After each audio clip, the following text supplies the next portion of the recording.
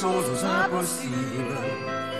Moi venant de la rue qui espérait mon roi, ce héros invincible. Je n'attendais que toi, je n'attendais que toi, je n'attendais que toi. C'est la plus belle chanson du monde, hein. On n'est pas loin, hein. On n'est pas loin, hein. J'adore, j'adore. Charles Aznavour et Mama Béa. Elle s'appelle comme ça. Bon, on démarre avec vous, euh, Olivia. Et vous allez de temps en temps sur les réseaux sociaux et de temps en temps, vous faites de belles découvertes, finalement. Oui, Vous parce que vous savez, quand ça on aime les livres, il est de bon ton d'éreinter les réseaux sociaux. Or, sur Instagram, j'ai découvert une communauté de lectrices très fines, très passionnées, dont il m'arrive du coup de suivre les recommandations. Et j'ai découvert une femme qui a été pour moi un grand coup de cœur. Cette femme, elle s'appelle Noah Baz. Noah Baz, elle regarde Télématin à Beyrouth. C'est par Ah Télématin que je la euh, Très nombreux découvre. Ah oui, Exactement. Et je découvre des photos, beaucoup de photos de cuisine, beaucoup de photos d'une femme très brune et à la fois très solaire, avec des grands chefs. Moi, je ne sais pas faire la cuisine, je suis un lapin dans les phares devant les fourneaux. Mais il émanait de ces photos quelque chose vraiment d'extrêmement bienveillant, d'extrêmement généreux. Les vitamines du bonheur, pour reprendre un titre de Carver que j'aime beaucoup.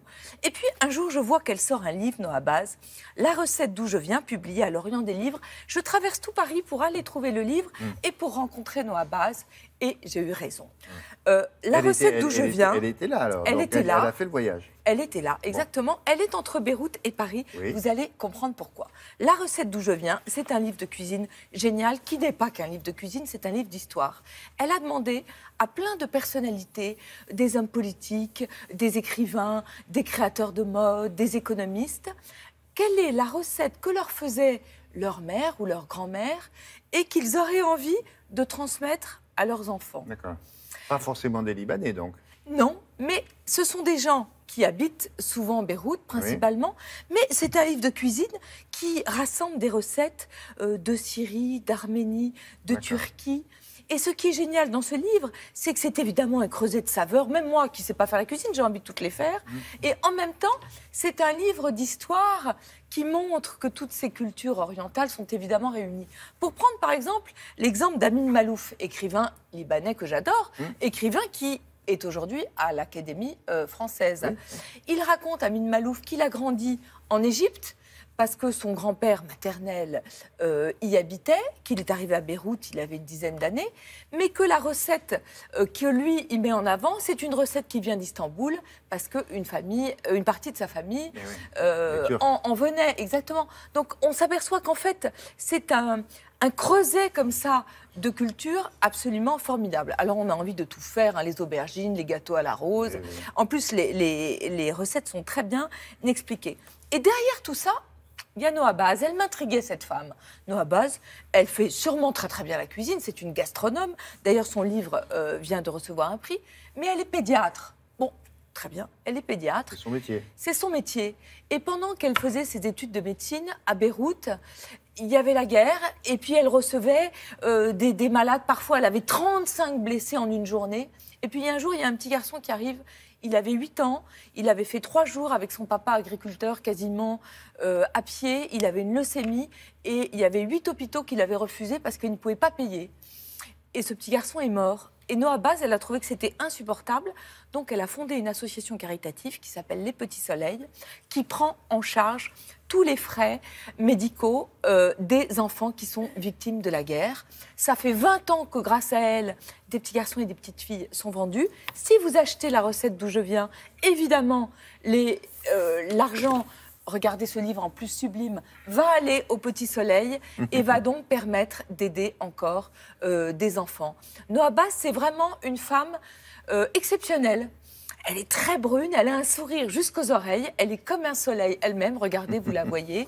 Et c'est une femme, ça fait 20 ans. Et jeune. Mais oui, elle est jeune. Elle est jeune, elle est belle. Et regardez ce livre, euh, il est vraiment pour vous. Euh, je sais que vous allez adorer. Voilà, la euh, cuisine méditerranéenne, qu'est-ce qu'il y a de mieux hein. Exactement. Ça va, ça va vous parler. Il y a la femme d'Elie Saab, il y a la femme de l'ancien président de la République, euh, Euh, Elias- il a donné aussi une. Oui, Ah ouais exactement. Euh, Elias euh, Haraoui, et lui, son père était palestinien, sa mère était libanaise, euh, il a grandi à Bethléem. J'aime ce creuset de culture. Mhm. Je trouve que c'est plus important, évidemment, euh, que Ben tous les grands discours. Ben, Si euh, un jour nous retournons au cours d'un reportage à Beyrouth, nous lui rendrons visite. Ah, il faut absolument faire un reportage non sur Noah Baz. Absolument. D'accord. Euh, Autre livre que j'ai découvert sur Internet, alors rien à voir, Un fils parfait de Mathieu Ménégo. Je le vois revenir sur plein de comptes Instagram. Et les filles, à chaque fois, elles disent Oh, c'est un coup de poing. Alors là, c'est pas un coup de poing, c'est une claque, c'est un uppercut.